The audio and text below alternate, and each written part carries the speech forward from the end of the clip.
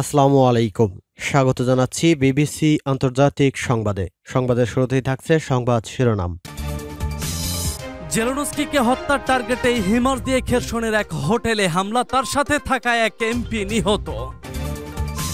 জানিয়ে দেব ইরাকের কুর্দি স্থানে মার্কিন ঘাঁটিতে কামানের গোলা ছুড়ল ইরান।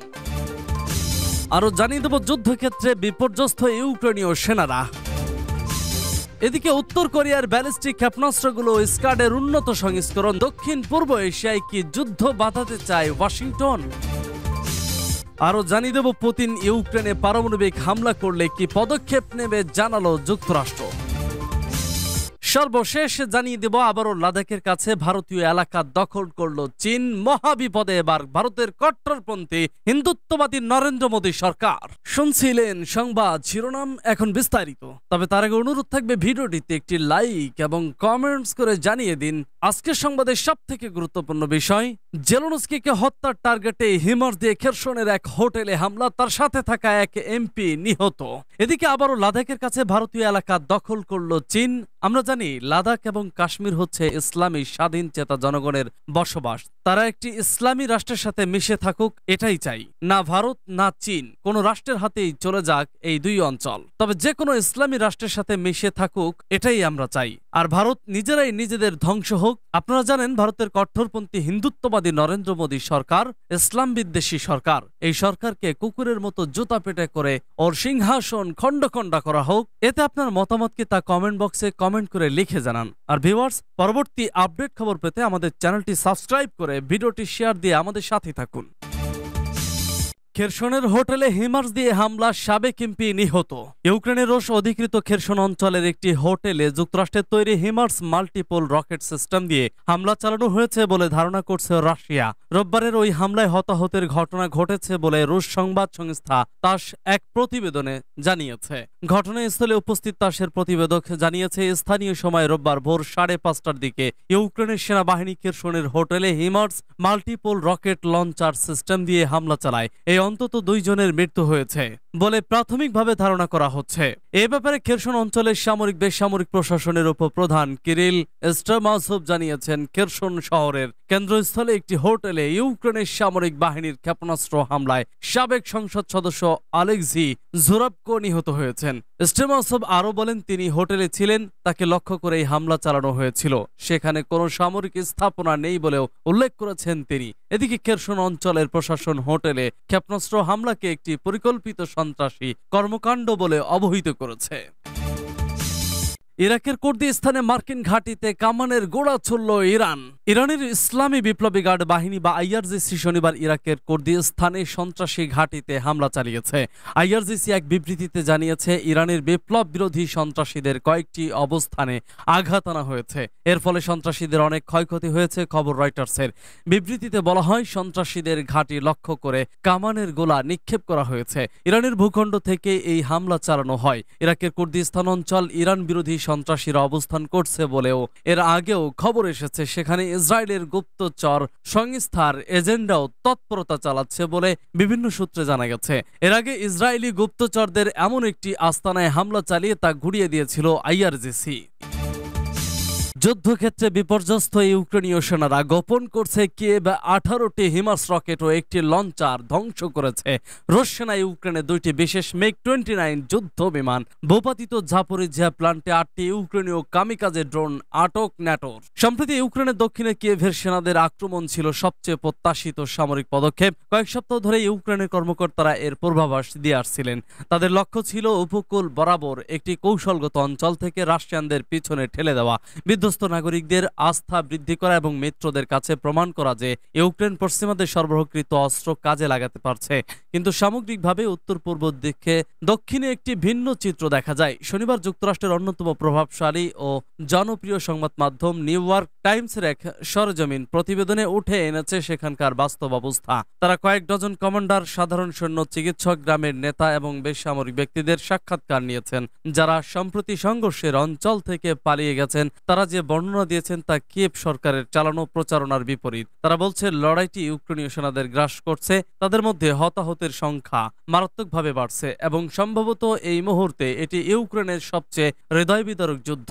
দখলকৃত এলাকাগুলোতে রাশিয়ান বাহিনী সুবিধাজনক অবস্থান নিয়ে ঘাঁটি গেড়ে বসেছে। এ সপ্তাহান্তে ক্রেমলিন সেসব এলাকা পাকাপোক্তভাবে নিজেদের সাথে সংযুক্ত করার জন্য গণভোটের আয়োজন করেছে। ইউক্রেনের কর্মকর্তারা বলছেন, হামলা ছাড়া তাদের আর কোনো বিকল্প নেই। অক্টোবরের বৃষ্টিপাতে সেখানকার রাস্তাগুলো তলিয়ে যাওয়ার আগে তারা এলাকাগুলো পুনরুদ্ধার করার জন্য দৌড়াচ্ছে। শীত আসার আগেই মিত্রদের কাছে তাদের প্রমাণ করতে হবে যে তারা রাশিয়ানদের বাইরে ঠেলে দিতে পারে। ইউক্রেনীয় সরকার সাধারণত হতাহতের পরিসংখ্যান প্রকাশ করে না, তবে গত সপ্তাহে সাক্ষাৎকার দেওয়া সৈন্য এবং কমান্ডাররা যুদ্ধক্ষেত্রের ক্ষয়ক্ষতিকে উচ্চ এবং বিশাল হিসেবে চিত্রিত করেছেন। তারা বড় ধরনের একটি আক্রমণের বর্ণনা দিয়েছেন, যেখানে ইউক্রেনীয় ট্যাঙ্ক এবং সাজোয়া যানের বিশাল এক বহর খোলা মাঠ অতিক্রম করার চেষ্টা করেছিল।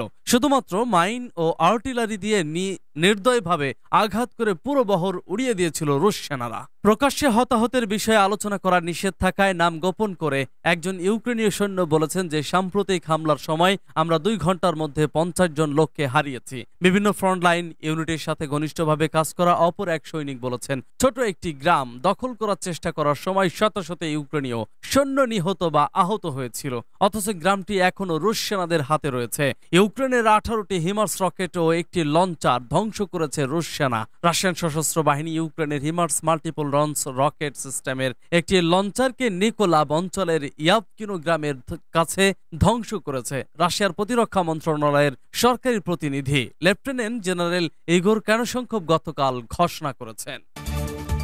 উত্তর কোরিয়ার ব্যালিস্টিক ক্ষেপণাস্ত্রগুলো স্কার্ডের উন্নত সংস্করণ দক্ষিণ পূর্ব এশিয়ায় কি যুদ্ধ বাধাতে চায় ওয়াশিংটন? উত্তর কোরিয়া জাপান সাগরে একটি ব্যালিস্টিক ক্ষেপণাস্ত্র নিক্ষেপ করায় তীব্র প্রতিক্রিয়া দেখিয়েছে দক্ষিণ কোরিয়া ও জাপান। দক্ষিণ কোরিয়ার সশস্ত্র বাহিনী জানিয়েছে, তাদের সঙ্গে যৌথ সামরিক মহড়ায় অংশ নিতে যখন একটি মার্কিন বিমান বিমানবাহী রণতরী দেশটিতে পৌঁছেছে, তখন আজ সকালে ক্ষেপণাস্ত্রটি নিক্ষেপ করে উত্তর কোরিয়া।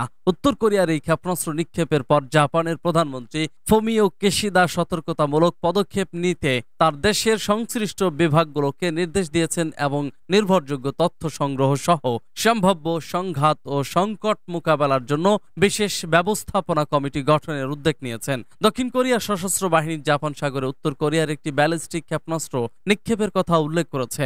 দক্ষিণ কোরিয়ার কর্মকর্তারা পিয়ংইয়ং এর এ ধরনের পদক্ষেপের বিষয়ে আগেই তথ্য পেয়ে সতর্কতামূলক পদক্ষেপ নেওয়ার কথাও ঘোষণা করেছিলেন। এই অঞ্চলে মার্কিন সরকারের উস্কানিমূলক সামরিক তৎপরতার প্রেক্ষাপটে উত্তর কোরিয়ার স্বল্প পাল্লার ব্যালিস্টিক ক্ষেপণাস্ত্র নিক্ষেপের ঘটনা গোটা অঞ্চলে উত্তেজনা বাড়িয়ে দিয়েছে।